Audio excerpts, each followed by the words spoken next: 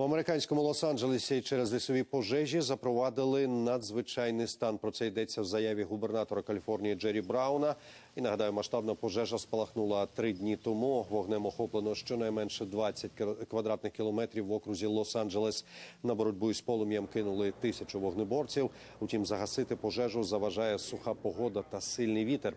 Рятувальникам довелося евакуювати жителів 700 будинків. Місцева влада вже назвала пожежу найбільшою в історії міста.